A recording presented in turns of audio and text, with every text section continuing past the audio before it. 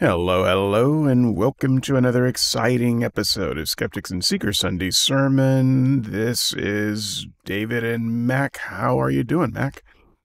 I'm pretty tired, but I'm all right. Yeah, yeah, no, I, I hear you. Uh, I, I, I think both of us probably have work schedules that are running us ragged. so, Pretty much. uh, Yeah. but that's that's cool. Um, you know, I really wish we had time to go over, you know, some of the last stuff that uh, we were talking about on the board that you were wrong about.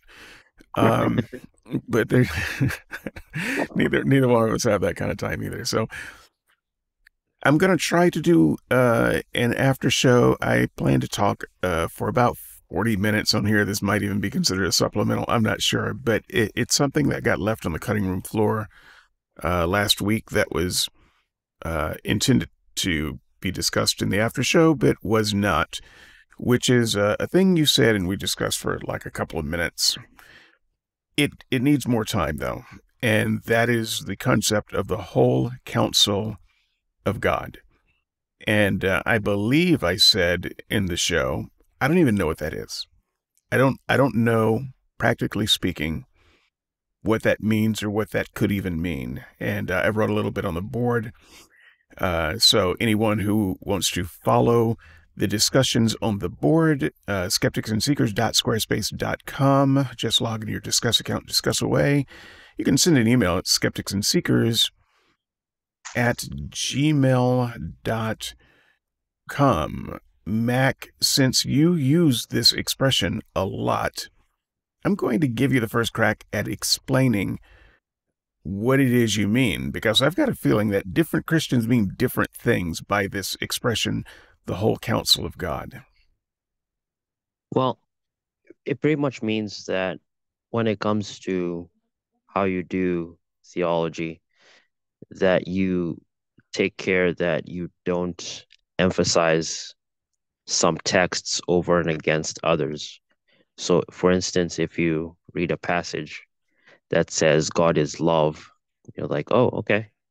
But then there's another part of the Bible where God is judging people. You don't say, well, I don't like the judging. I like the loving more. So let's uh let's find a way to make the judging look like maybe it's not uh it's not on the same tier. So pretty much uh picking and choosing which texts you prefer. And so in that sense, you could say you're doing theology, sure, but you're not do like you're not engaging with the full counsel uh, of what's ha- it's like if if if there's a if if the president give out a law or something like that and says okay you have to do these things and then you're like oh well I'll do I'll only do these things but I won't do the other things then you're not following the full counsel of the president and so the same thing with theology especially biblical theology Okay, let me uh, let me poke at that a little bit. So, you're when you say it, you are just trying to weed out the cafeteria Christian. Uh, that takes a little bit of this, but none of that, because I don't like mushrooms. But I'll take some of this. Uh, so, is is that is that correct? Uh, pretty much yeah buffet Christianity where you you know you're like you're at a buffet you're like I'll take I'll take the stuff I like. And I know the so like the the person isn't ignorant about what's in the Bible. They know it's there. Mm. it's not like the person just doesn't know. They know about it and they're like I don't like that that's there. And they're like okay I'm not gonna I'm not gonna go with that. I'm not gonna talk about it. I'm not even gonna think about it. I'm just gonna go with what I like Okay, so um, I, I just wanted to make sure that I understood where you're coming from. Um, so, someone like uh, Jefferson in the Jefferson Bible, oh uh, yeah yeah, or, or Martian. Um, is it Martian or Marcian? Uh, Marcion Marcian. Okay. Yeah. Um, so those would be people who don't follow the whole counsel, the full counsel of God, as as you formulated. Yes, they would be the best examples.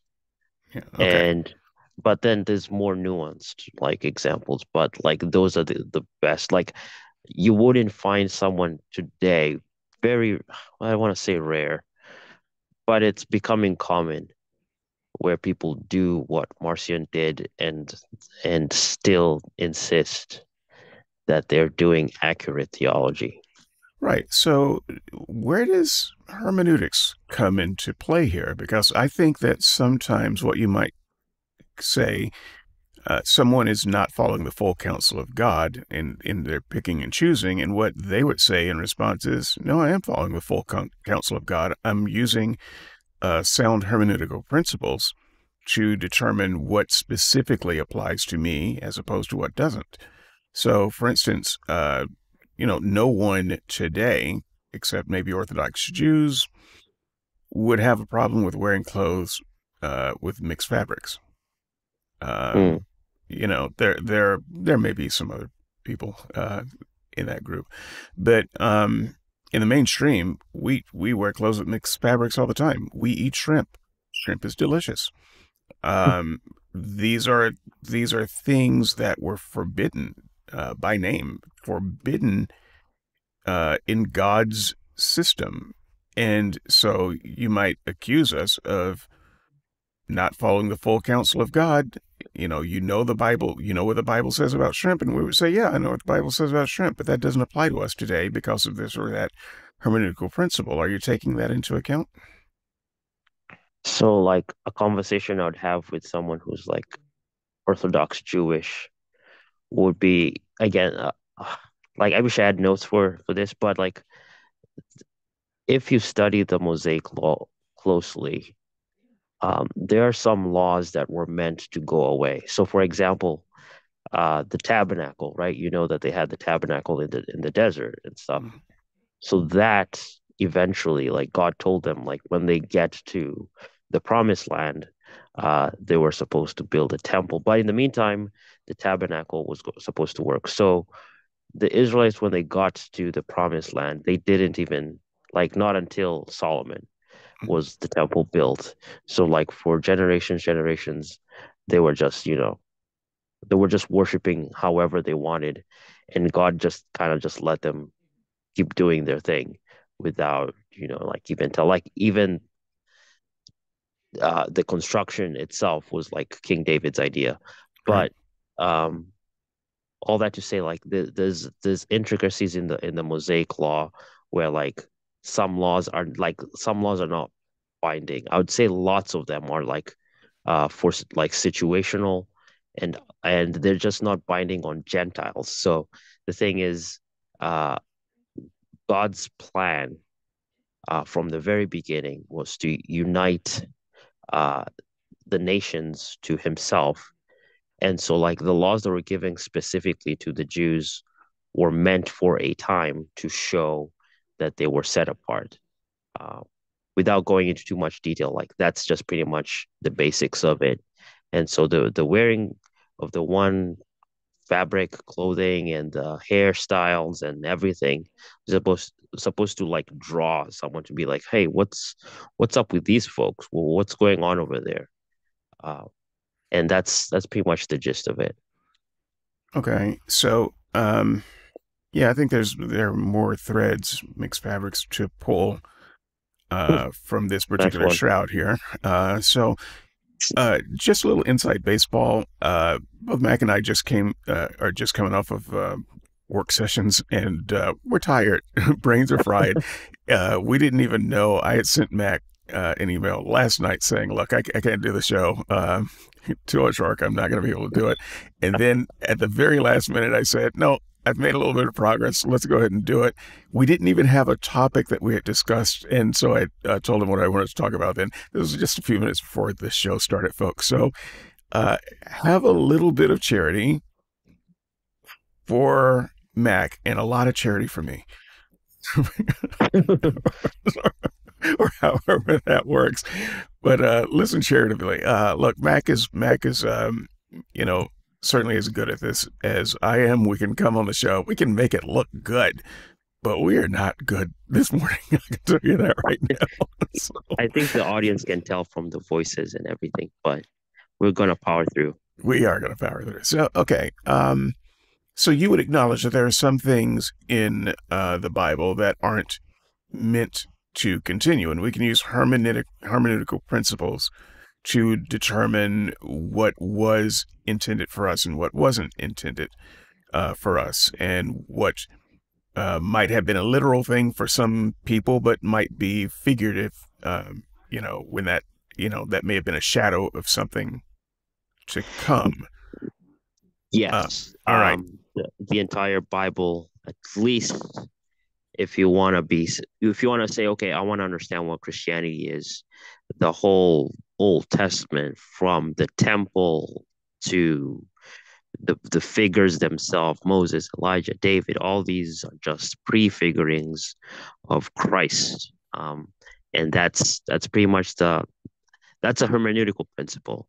Like that's the principle that the early christians used to understand where christ fit into this story that's been told from Genesis all the way till their present day. Right. And for the record, I disagree with that as a hermeneutical principle. Uh, but I uh, grant, I mean, even the denomination I grew up with uh, talked about types and antitypes and that sort of thing. Um, so I, I understand it. I just don't think it's a legitimate way to do um, literary criticism because it assumes, it makes an assumption that what they wrote uh, 2,000 years before was in any way related to what was going on at that time, 2,000 years later. And so that's kind of a thing that you layer onto the text. And you'd say, well, you know, Moses prefigured Christ. Well, no, he didn't. Uh, the people who wrote Moses had nothing, no concept of Jesus. Um, uh, the people who wrote about David had no concept of Jesus. Um, and so you just have to kind of add a magical gloss onto it. Well, but the Holy Spirit is the one that is keeping the thread pure throughout the story. And so great. That's a that's a theological faith-based idea, but it is not true as literary hermeneutics. Well, you could you could again take a closer look a closer look at what uh, these fellows themselves wrote. So like with David himself, um, and there was a big discussion about this on the on the boards when I was talking to Brian B. and we are talking about Psalm 22 and saying David is talking about his suffering and he's talking about his enemies are surrounding him and they pierce his hands and his feet. And so I asked uh, Brian, uh, pierce hands and feet, what does that sound like? and he just he was like i i i don't know maybe he's just emotional stuff and i was like wait okay no wait what does pierce hands and feet sound like to you? And he was like uh, he just couldn't answer honestly. And the answer is like okay that sounds like crucifixion. So it, it it's like the thing is like people read these things like David wrote about crucif like he prefigured crucifixion. Even if he was just writing about his his misery and people are just being jerks to him uh, there's that thing going on there and even we have Moses like talking about uh, one day it's I think it's the end of Deuteronomy he says that God is going to like uh, have to change your hearts or like circumcise your hearts so that you may follow him. Now that idea in and of itself finds its fulfillment in the teachings of Jesus because for a while people thought that uh, to be a good Jew, what you had to do was to just keep the law. But like Moses in his final speech, uh, and anyone can go read it, final chapter of Deuteronomy, he pretty much says that you people are not going to be able to keep these laws. Like he says, after I die, I know you're not going to be able to follow these rules. Uh, God's going to have to come and do something for you in your hearts. And that specific teaching uh, finds its fulfillment in what Christ teaches about uh, being born again and all that. Okay, I I take your point, but I, I, it doesn't change my point. So I can say uh, that I have no idea what it what David was on about with piercing of the hands and feet. But it's only a faith statement that you make that it's about crucifixion. Well, that sounds like crucifixion to me, you see? So I'm going to say it's about crucifixion. I can guarantee you that you're not going to find very many Jewish scholars who agree with you. Uh, because they know the uh, the literary form way better than you or I, and they are not going to say this was David uh, prophesying about Jesus being crucified. So, um, you know, I, I think that it requires a, a, Christian perspective and a faith perspective to read these Old Testament passages and get there. By the way, I think that Paul did uh, read the Bible like that. I think he was one of the first to read the Bible uh, like that. So I'm not I'm not saying that no one uh, read the Bible like that, but Paul was bringing bringing in some new ideas uh, about Judaism. I don't want to go down this road.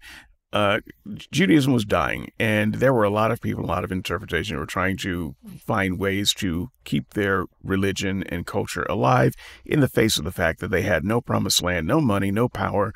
Uh, so, what does what does Judaism look like in that situation? So, I think that Paul was one of the people who came up with, uh, you know, some different and interesting interpretations uh, of those passages, and he may not have even been the I don't think he was the only one who came up with interesting and bespoke interpretations of that stuff. But that said, just because Paul claimed that this was a prefiguring of, uh, you know, crucifixion and Jesus and, you know, what have you, that doesn't mean it is. That's just one guy using bad hermeneutics to uh, lay a foundation to his new idea.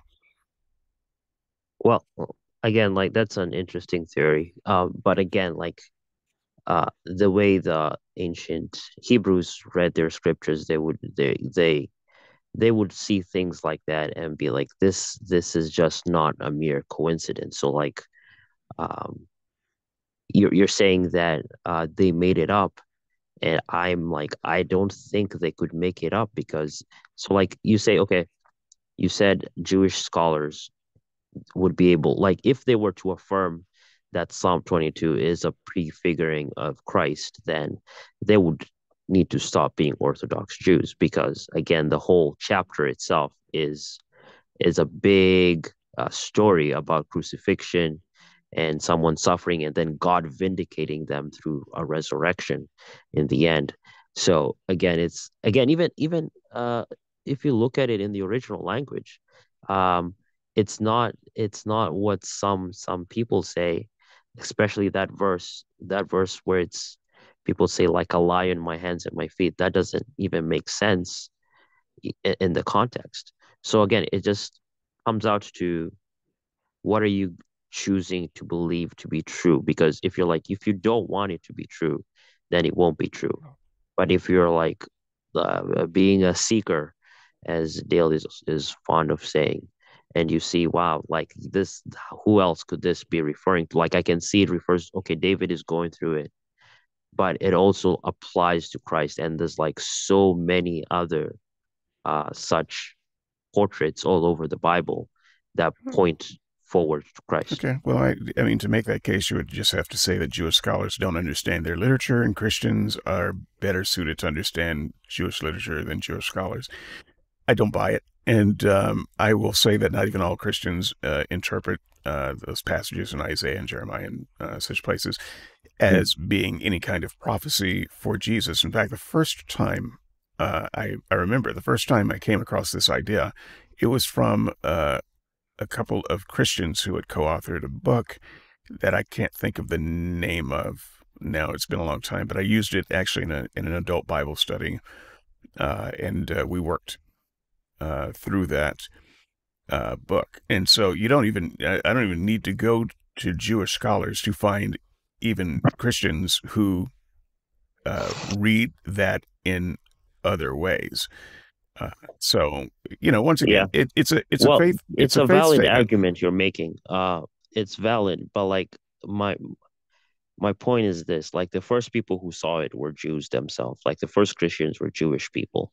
So if they if they say like or uh, like it's a question of which Jews do you do you favor more? Like I I'm sticking with the original crew uh that that saw the fulfillment of Christ in the old in their own scriptures and they were Jewish themselves. It wasn't like some random guys, some random Romans or Greeks who saw him be like, "Oh, that's interesting." It's it was Jews. Yeah, they were I would, Jews. I would say they, they were they were Jews on the edge of their culture. They were, uh, and so I know that you you would say, well, maybe Peter and the others were, um, you know, far away from the actual Jewish culture. You might uh, acknowledge that, but you might then come back and say, but Paul, Paul, he was a, you know, right dead center of uh, Orthodox Judaism. But we have his word on that. Uh, Paul changed his mind Paul was rejected by the Jews, and for all we know, he was rejected before he turned to Christianity. Maybe that's why he turned to Christianity. Um, mm. We, I mean, historically, we have no insight into that. What we do know is that the actual Jewish leaders of that time, who also knew their Bible, did not read the texts that way. And so you can say, well, I will accept the interpretation of the rebels, and I can say I will accept the interpretation of the Orthodox.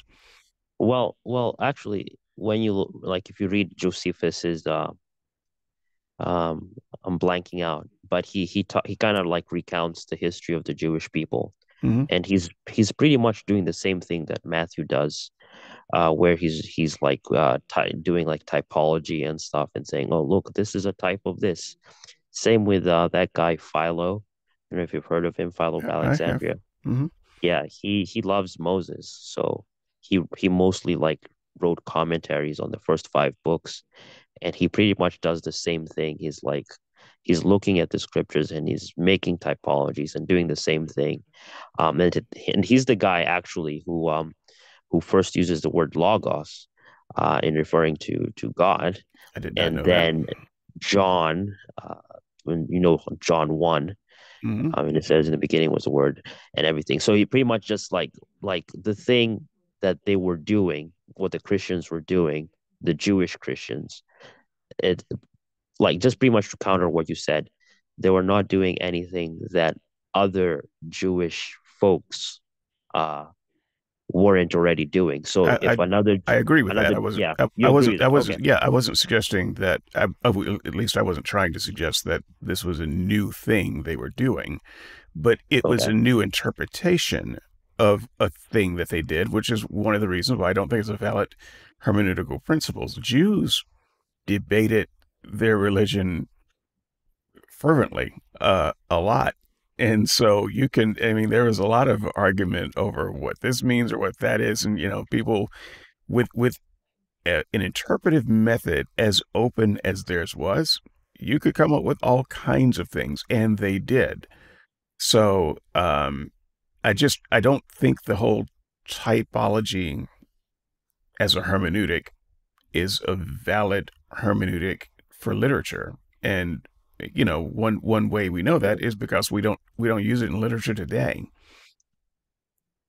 Again, that's like um in a way you're like uh taking English literature and the rules that we have in in English uh literature and and, and taking right, it but, it, saying, but if, okay, it, well, if, if it was valid though we'd be able to do it we'd be able to look at shakespeare and say, okay, there, King Lear is a type uh, for uh, Obama, you know, who is the anti-type, and you know, we would we would say that you see Shakespeare uh, prefigured uh, King Lear prefigured. Um, you know, you know, we could we could do all kinds of things like that if if that was a legitimate way of actually going about uh, textual criticism. It's not, which is why we don't. Right, but but you, you realize that in the Bible, like there's all kinds of covenants and promises that God says, I'm gonna I'm gonna do this, I'm gonna bring a a leader, I'm gonna do this. Like even I think Malachi ends with like a promise of Elijah showing up or something through the last chapter. Mm-hmm. And then there's a place in Ezekiel where God promises he's going to send David. Now, at this point in history, David has been long dead in the in and his corpse is rotting in the ground. So what the Jewish folks are doing is that they're looking at these passages and they're saying, "Hmm, what does that mean?" Because it can't be the literal David and can't be the literal Elijah.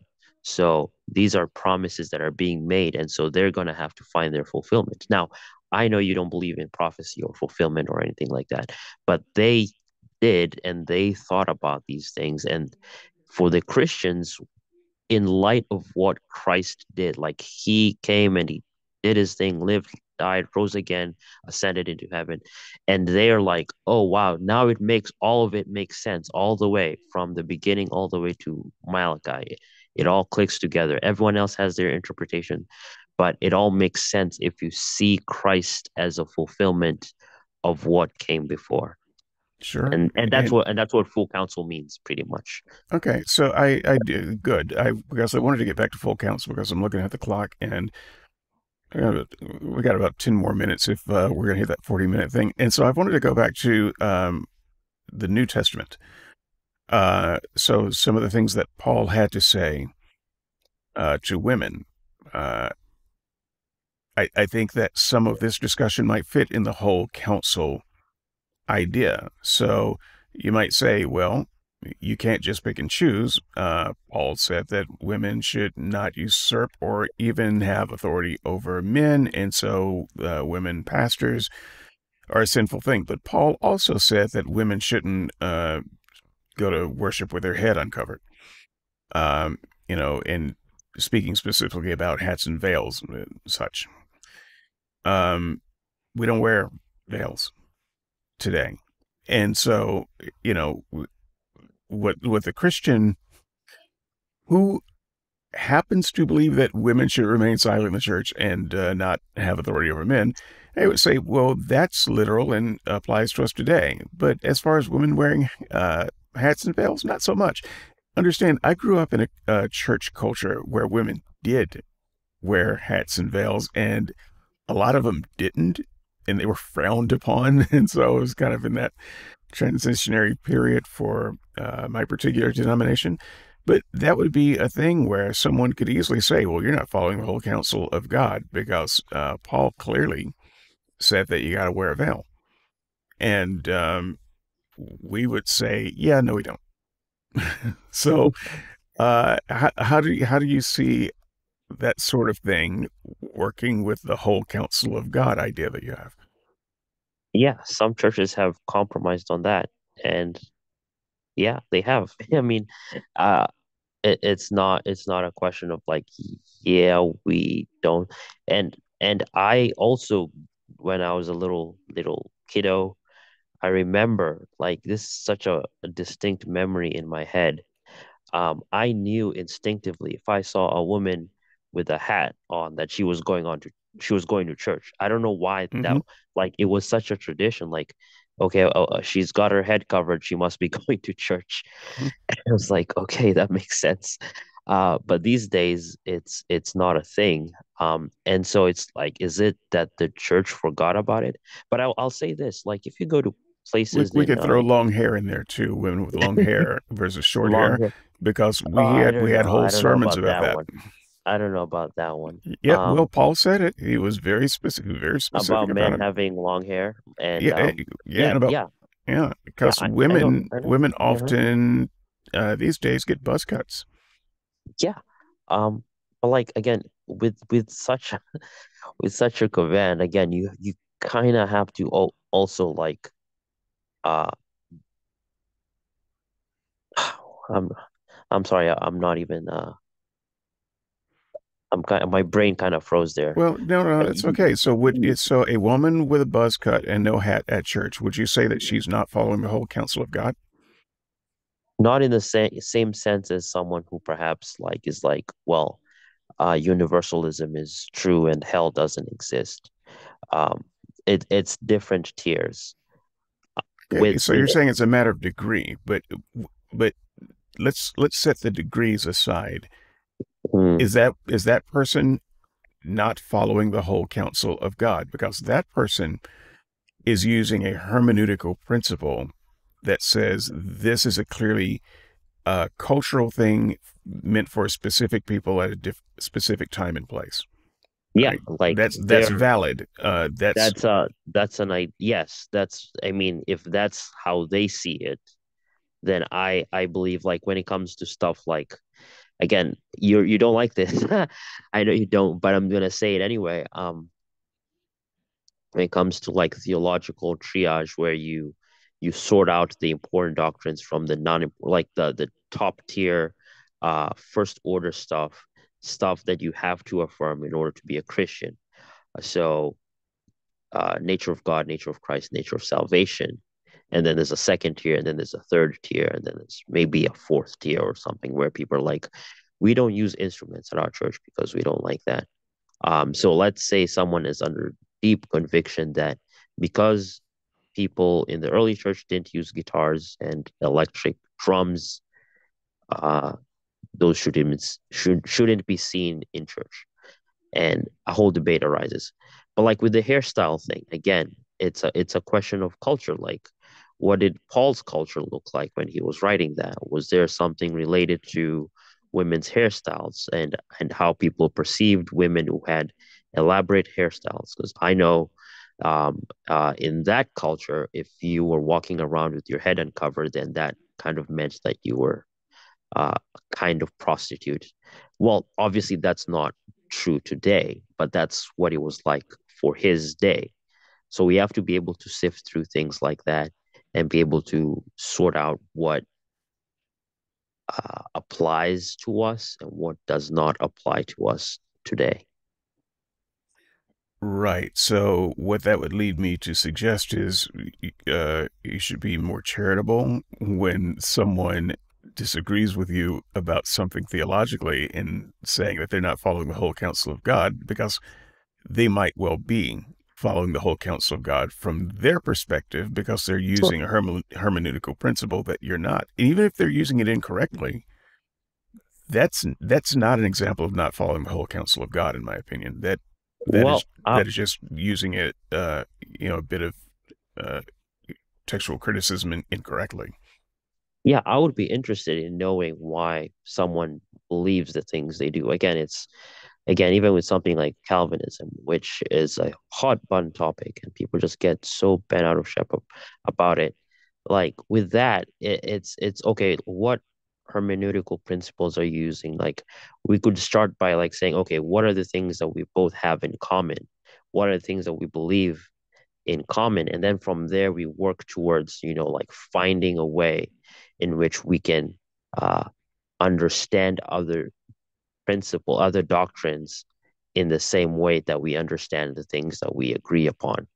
And usually, like, again, this, I'm not like, I'm not excluding myself from this because I know for sure there are things that I may believe that are just totally wrong about, you know, uh, uh, things like what do people get? All right, like baptism or the Lord's Supper, things like that, right? Because there's uh, there's um, a whole bunch of views. But the thing is, uh, if I'm talking to someone who has a different view, I would want them to be able to like just put their hermeneutical principles on the table, and then I'll put mine on the table, and we can be like, oh, okay, let's try and sort it out, as opposed to just saying, well, you're stupid, you don't know what you're talking about, and the person says the same thing to me then no one gets helped in that situation. All right. Uh, so I'm looking at the clock, and uh, I think that's good. I think um, that's a good conversation. I do have a thought that I want to do for an after show that might be 15 minutes. so even though we, we have not yet implemented our thing, uh, we need to get into the practice of doing it. And so uh, you know how to reach us, skeptics and seekers at squarespace.com. Log your Disqus account, discuss ways, send us an email, skeptics and seekers at gmail.com, which is an email that Mac does not yet have access to because I just haven't uh, given it to him yet. But uh, I, I will continue to say send us because I will at some point. Uh, all right. I, I promise. Um, and uh, so, with that, um, we will see you in the comments after show. Okay. yeah. Well, I, I just know people are just going to post off topic stuff. So, uh, to the two people who listen to the show, uh, looking forward to any ideas that you have constructive criticism or just say, well, I didn't understand this part. Like, honestly, the best thing is for all of us to come out of this learning something new as opposed to being like well what you said was so dumb or yeah i, I yeah. think one of the if if nothing else, you can learn, uh, understand, and empathize uh, what the other person is thinking and going through, and uh, humanize people that you strongly disagree with. Right. So, um, and I, I think the world becomes a better place if we can just do that. But I, I think that we have more opportunities than just that. But I, I mean, I think that's important if we can, if that's all we can manage. So that said, um, all right, Mac, I want to, I want to rewind, go back to my comment on the board um, about this topic and relitigate what it means to know the Bible. because I can't let this go. And um, I feel like it, uh, there's more meat on this bone. So, know the Bible. I, I said something to the effect that um, we, we can't, there's no way to determine um, what the uh, what was I? What were we talking about on the board? But I, I was at, at, any rate questioning what it even means to know the Bible, uh, and to fully understand the whole counsel of God, uh, because what that sounds like to me is you can't know anything unless you know everything, and I don't believe that for a moment. I don't think that you have to know everything to know anything, even about uh, religion, um, you know, theology. Uh, right. I, I think that there are some, you know, partial knowledge is fine. Um, it because that may be all some people can muster. But you know, it's a matter of knowing knowing the right bits and pieces rather than knowing the whole counsel. Uh, and so, yeah, I, I, I, um, I, I just want to, I, I want to ask some very specific questions, like how much um, really does a person have to know? Do you have to know, uh, you know, with some intimate familiarity, every verse in the Bible, every Bible story? Uh, well, you know, the the the uh, thrust of every book of the Bible. Uh, do you have to know the Bible's history? Do you have to know uh, cultural norms at the time, things like that? What what is what? Um, so, what does it mean to know the Bible? Well, um, I believe I said this, uh, if not to you, to someone else. I, I used this uh, sentence. I said, um, the main things are the plain things, and the plain things are the main things. So when it comes to the Bible, the Bible has a very simple message. Uh, one is that humans are sinners, and two, that God saves sinners. So if if I were to summarize, like let's say I was going to visit someone who's like on their deathbed and they're like, "Tell me about Christianity." Do I like do I give them a whole lecture on from Genesis to Revelation, or do I just tell them? Can I can I summarize it in like ten minutes? Yeah, because otherwise the guy's gonna die in the middle of the begats. Yeah, he's gonna he's gonna die in the genealogies. Um, which is um, a bad way to die. Let me just say, it's like, the, yeah, but but the, the I don't know why you're laughing. This is it's it's fatigue. It's not because I'm laughing that someone is dying. Um, no, um, I'm laughing at someone who's dying who's got a priest who's going through the begats. So.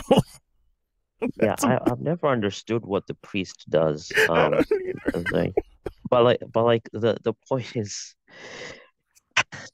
the point is okay you 10 minutes i'm about to tell me what what the important thing is and like again the the story of the thief on the cross the the, the way that guy goes to heaven or paradise is the same way that every single person gets into heaven not by their own efforts but by christ's intercession for them christ interceding for a person. So that guy was nearly dying and he asks or for he says uh, i'm guilty. You're not guilty.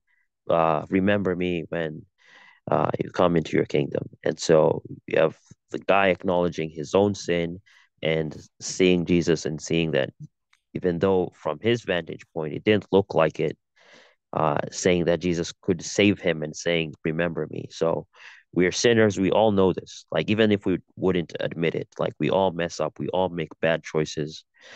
Uh, and the only hope we have is for someone to be our substitute and do stuff so that our our our sin in a sense is atoned for.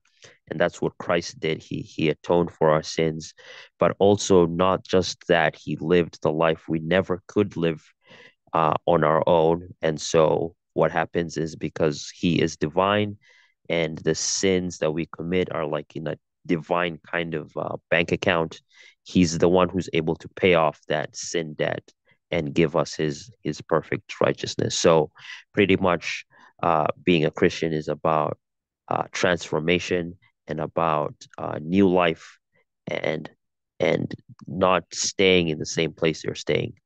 Uh, so to summarize it i would tell the person the most important thing to know is about yourself and also to know who god is. God is a savior you're a sinner and if you go to god he will not turn you away. That's pretty much the gist of the entire bible. Okay, from and it would be genesis it to would, it would be a better yeah. Bible if that's all it said, uh, as far as I'm well concerned. that's Uh, again if if again so so that's for the person who's like 10 minutes away from dying. Uh for the person who has like 50 years uh to go right? Obviously that's not going to be enough for them. Why? it, it's enough but it's not going to be enough. Why? Well because if if you stick with that for 50 years then you're you, you're going to get tripped up by all sorts of things that say well well you're not living your life like Christ wants you to live life so you're not trying hard enough so it, it it's possible that you're not really saved. And it's like wait like and some some people believe that. They believe that uh it's up to their performance to earn them eternal life Right, but if they were having um, uh, a divine uh, presence within them via sensus divinitatis or whatever, they would know that they were saved all the time. So that I, I disagree with the premise that they would start thinking that they well weren't saved. I don't think you some people could who think are it. saved for real still doubt that they are saved and Then that they have then they have no sensus divinitatis, and that's a bunch of well BS. that's wait how does that work how do they because doubts can be a means of of like let's say you're doing you don't like math analogies but here's you're doing a math problem and you're like okay you you do it and then you're like wait let me check the proof. Let me do a proof to see if the answer i got is right. That doesn't mean that you the answer you put in is wrong. It just means you're like okay let me make sure that i didn't Okay, mess but we don't have a sensus census divinitatis telling us that our math answer is right. So chris that's why it's why that's why it's well well disanalogous. you have an instinct like you Okay, wait but we don't have we don't have the the God of math living inside of us telling us when well our answers are right christians or do wrong. that's the Right. So if do that's well, that's what I mean though. If they did, they would never doubt. It, it would no be i impossible i to doubt. God's li- he's right here, man. I don't, I don't, because the doubt itself is a means of God showing you that, okay, so let me, okay, so someone who is not saved, right, and is just living their life however they want to live, uh, they don't have that sense of, um, what's it like, okay, I, wow, I need to repent. I did something wrong. I need to ask God for forgiveness. Doesn't have that at all. The Christian has that when they mess up, they're like, oh, I'm sorry, I offended you, Lord. And they ask God for forgiveness and they repent and they turn away from their sin. So that turning away, that doubting, that turning back, that whole process in and of itself is the proof. But like uh Paul again talks about this in Romans. He's like, don't sin so that you can like, you know, tell yourself like, okay, this is proof that I'm a Christian. Because there's a temptation again to be like, okay, I'm just gonna keep living my life however I want to live. It's like, no, don't do that because that also in a paradoxical way shows that you're not serious or you're not actually saved Right. But if they once again, if they've got God living in them in some tangible way, they wouldn't want to sin anyway. So that I don't right. I They would want to sin less. right. They're So not sinless, so they they would sin less. they wouldn't even ask the question, shall we continue in sin that grace may abound? That wouldn't that wouldn't make sense to even wonder about. But you see, like logically, that's what people, well, by human logic, that's what people say. Right? If it's all Right, but the grace, then why unsaved, the un, just the unsaved would say that. The saved would never say it. no, but the unsaved say that to the saved people. They say, hey, And the saved if people if would it's all say, grace, no, someone told me actually uh, gave me this comment uh, this week on the board. They were like, okay, I'm just gonna wait for God's grace to come upon me, and I'm just gonna fold my arms. I'm gonna sit here. I'm gonna wait for the grace to show up. And it's like that's not how grace works. It's not. It's not. It's not like okay. Uh, if if I if I'm saved, then I don't have to do anything. Like I don't have to exert my uh, my will in a certain way. Like my exertion of my will proves that I have actually been saved. If I actually don't care, then that's proof that I don't actually have God living okay, me. uh, Yeah. so uh, 10 minutes, and I don't even want to use all of those. I want to say something controversial. I haven't thought it through. Uh, so this might be fun. No one who was saved in the Bible knew the Bible. Um, Okay. so this this emphasis on knowing the Bible seems to be a very strange emphasis since no one in the Bible knew the Bible. Uh, so Yeah. they- Yeah. um, People on the cross never read Galatians, uh, never read Ephesians, never knew anything about Revelation or eschatology or any any of that stuff. That's why uh the emphasis is that you Christ is the one who saves you, not how much theology you've got in your head or how much Bible you read. The Bible is a means that God uses for Christians who are not going to be dying anytime soon as a way to keep you from, I guess, being sucked into the vortex of worldliness. mhm. Does that does that make does that answer your question? No. Um, I I mean, it it's words that make good sounds, though. Um, and, and Well, I want to answer the question it well, I mean, like you, someone listening may think you answered the question, and I I just don't see it. To, to me, uh, when I look at Jesus wandering around the countryside, you know, he never asked anyone. So, how much of Isaiah do you know? He never he never did that. Um, you know, he talked about the kingdom of heaven, uh, and it, you know, it's soon coming and now is, and it's in your heart. And there was no first study Jeremiah, uh, that that simply didn't exist.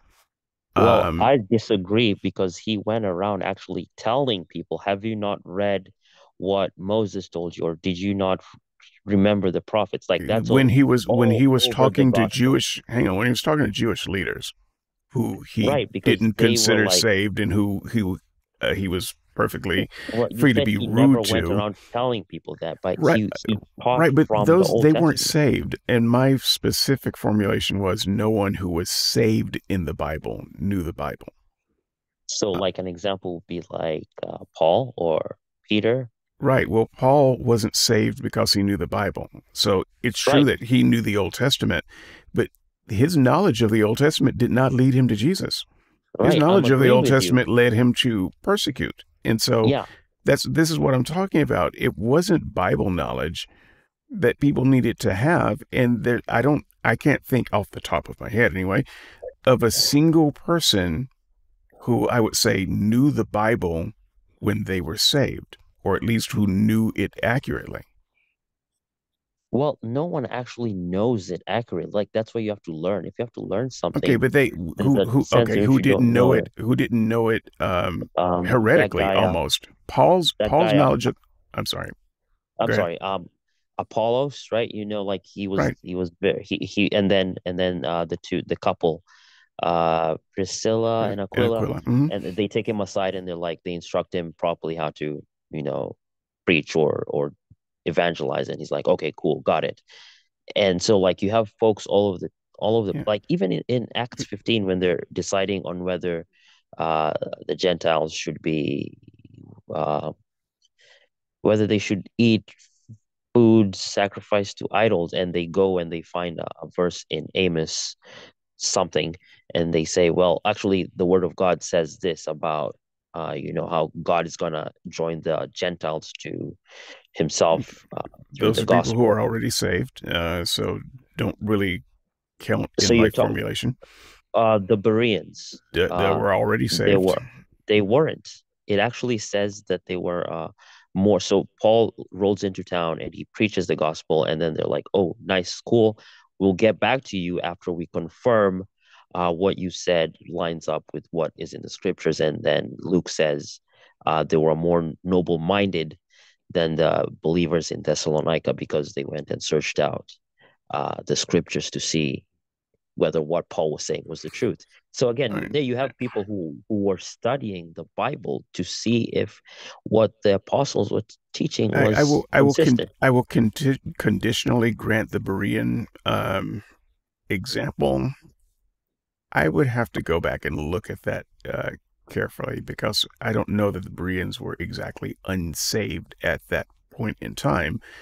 Uh, but Paul Paul did say that they um, you know searched the scriptures to to see what he if what he said was true. But once again, they're they're just Paul is giving an interpretation and they're looking at it to see if they can accept or not accept that interpretation. But at, at any rate, whether the Bereans are uh, an exception or not, I think I think the rule stands pretty generally still that um, in the Bible, when people are saved, it wasn't because they knew the Bible.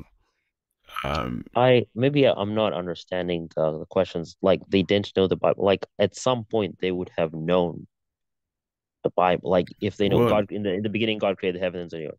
Like they would have known something like that, right? Which Genesis okay, one well one. that would that wouldn't have contributed to their salvation, uh, because at the time, for instance, when Peter Uh. preached to the uh, crowd on Pentecost, well, many of the people that were there would have had some familiarity with some parts of the Bible.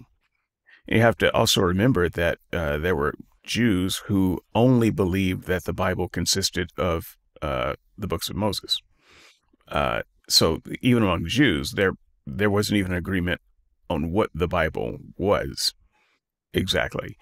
So um, when Peter preaches, yeah, he gives he gives a biblical reference or two, but mostly he's talking about Jesus, which was not in a in a Bible um, at that time. So uh, even even that sermon is not an example of people being saved because of Bible study.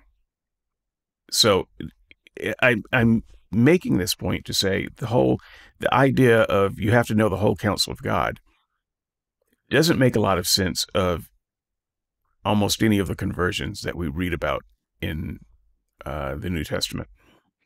Well, it does because, again, like a good example would be the Bereans, and then um, Jesus himself telling his disciples um, to, um, to like when he's he's talking to the two guys on the road to Emmaus, and he begins with Moses and he goes through all the prophets, uh, beginning with Moses and all the prophets. He explained all the scriptures to Right. them. And that's a that's a Um, good that's a good example, and I will grant that, except to say those people were already Jesus followers. So it's not like Jesus was they were they were like- they didn't believe he was alive. They were leaving Jerusalem. They were like, "We're out of here." No, they did, they didn't believe he was alive, but nobody believed he was alive. So even Right. even his own uh, twelve or eleven at that time didn't believe he was alive. So let's let's Right, be. and Jesus gives them a Bible study. Like Right, he shows up and he's like, "Okay, Bible study time." But that's not what walking. saved them. They were saved anyway. They were saved Right. at that time. The people on the road to Emmaus were saved before Jesus gave them a Bible study. His Well, disciples were saved. Know that they were saved before Jesus gave the Bible study. It doesn't say that. Okay, well they were they were his disciples. It does say that. They were his disciples, but they didn't believe that Jesus would. So okay, so Like Jesus I said, told them, "I'm nobody believed rise." Jesus rose. No one, Uh, right, right. No one believed, and so So they Jesus didn't learn it from the Bible. right? No, yeah, exact. But like, no, no, no, wait. So Jesus shows up, and instead of saying, "Here I am," he starts with the Bible study from Genesis all the way to Malachi, whatever, or Mm. Second Chronicles. And once he's done, and they're like, "No, wait, we we want more Bible study," and then Jesus says, "Okay, I'll stay with you guys," and then they recognize him afterwards. So the Bible study comes first, and then Peter's sermon, he he he talks about David's psalm. I think it's Psalm 16. He says, "Oh, Psalm, David wrote this in in his psalms about how uh, you'll not allow your Holy One to see decay, but David right, is dead, so that has to be referring to the Messiah and something like that." right, So, like every time the apostles are preaching, except I'll I'll throw this one in for you, so, so that if you want to use this in the future, you can. Except when Paul is in Athens, and he's talking to the to the people there who have no idea uh, what uh, who Jesus is or what the Hebrew scriptures are, right. But I would and say that those people go were and never saved. no, some people actually get saved from that sermon. okay, Um, so if you want to use an example, use that example because he starts with, okay, he quotes from their poets and he says, uh, some of your poet poets have said this, uh, we're all, we're all God's offspring. yeah, Again, I'm. I'm butchering it, but you know No, no, you know no. what I'm saying, right? Look, uh, we're we're both going off the cuff here, and so I, like I said, I haven't thought this through completely, but uh, I'll I'll come back on the board uh, if I have time to revisit this too. to Yeah, I'm trying to um help. to I'm trying to help you out. No, I just I understand. I I, I appreciate the steel man effort. I will I will consider it more. I think the general rule still favors me, but probably I would grant that it's not every situation. Um, so I'll I'll certainly look at that. Look, thanks for the discussion. Uh, the fact that neither one of us had any time or preparation or even knew that this was going to happen, I think we did pretty good. So uh, with that with that said, though, uh, I think I'm going to get out of here and um, get back to this project, and uh, we will see you next time.